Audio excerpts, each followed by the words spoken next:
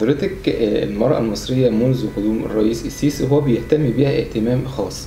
فأنا حابب أعرف برضو إسهامات البرنامج بتاع حضرتك في هذا القطاع خاصة القطاع ده يعني من أهم القطاعات في الدولة المصرية. هذا قطاع كتير مهم ومش بس برنامج الأمم المتحدة الإنمائي بيشارك فيه كل المنظمات آه، الأمم المتحدة وكل ال- ال- المنظومة ال- العالمية يلي بتدعم مصر. نحن كيو ان دي بي برنامج الأمم المتحدة الإنمائي بالتحديد نحن دعمنا آه، مجلس القومي للمرأة من سنين.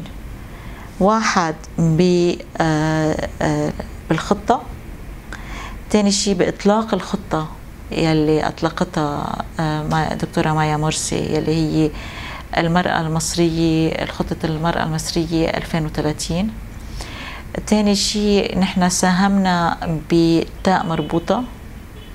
اللي هو كان كامبين آه، بمصر كله.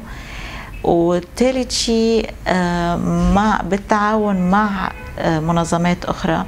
نحن عم نساهم بملفات هلا عم ندرس كيف ممكن نطلع بمبادرات من أجل دعم آه، العمل الاقتصادي لدى المرأة المصرية.